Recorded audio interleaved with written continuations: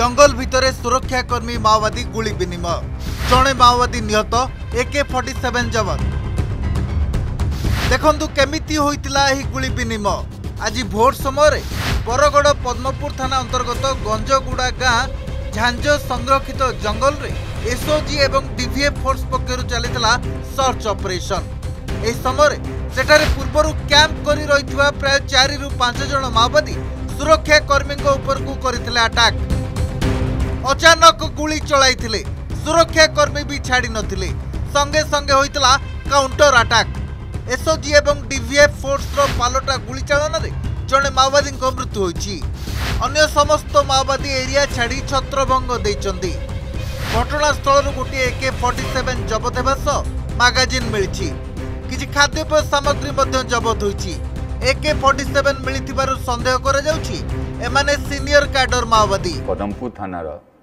गंजगुंडा गाँ पाखे झाँज रिजर्व फरेस्ट एसओजी एवं डीबीएफ गोटे सम्मिलित टीम उपरे माओवादी माने फायरिंग करते जवाबी फायरिंग रे जने माओवादी निहत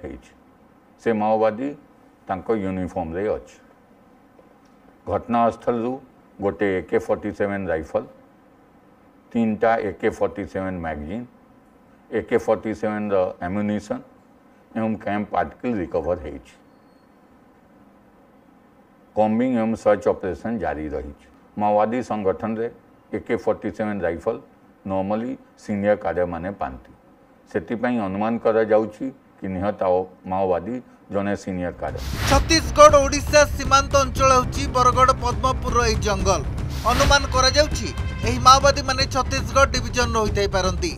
ଫେରାର ମାଓବାଦୀମାନଙ୍କୁ ଧରିବା ପାଇଁ ସର୍ଚ୍ଚ ଅପରେସନକୁ ଜୋରଦାର କରାଯାଇଛି ଡିଆଇଜି ଏବଂ ଏସ୍ପି ଘଟଣାସ୍ଥଳରେ ପହଞ୍ଚି ଛାନଭିନ କରିଛନ୍ତି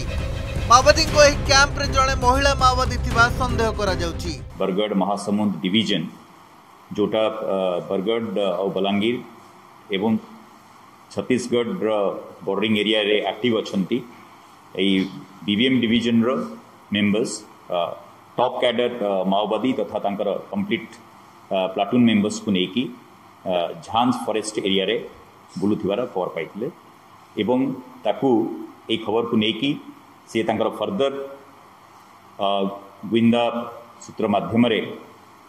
फर्दर फाइन ट्यूनिंग करते करवा द्वारा से झांज फरेस्टर एक्जाक्टली कौ एरिया मुभमेंट करा जानवाक पाई जानला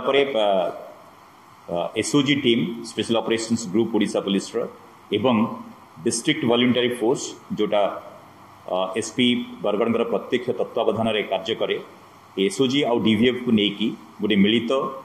ଆଣ୍ଟିନକ୍ସଲ ଅପରେସନର ପ୍ଲାନିଂ କରିଥିଲେ କିଛି ଦିନର ବିରତି ପରେ ଛତିଶଗଡ଼ ଏବଂ ଓଡ଼ିଶା ସୀମାନ୍ତରେ ପୁଣି ଥରେ ସକ୍ରିୟ ହୋଇ ଉଠିଛନ୍ତି ମାଓବାଦୀ ନିଜର ଉପସ୍ଥିତି ଜାହିର କରିଛନ୍ତି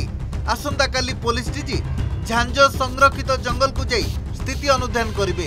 ତେବେ ଗଣମାଧ୍ୟମ ଜରିଆରେ ଡିଜି ଅପିଲ କରିଛନ୍ତି ମାଓବାଦୀମାନେ ଆତ୍ମସମର୍ପଣ କରି ସମାଜର ମୁଖ୍ୟ ସ୍ରୋତରେ ସାମିଲ ହୁଅନ୍ତୁ ବରଗଡ଼ରୁ ମନୀଷ ଶର୍ମା କଟକରୁ ଇମ୍ରାନ ଖାନ ଭୁବନେଶ୍ୱରରୁ ରୋଶନ ରଥ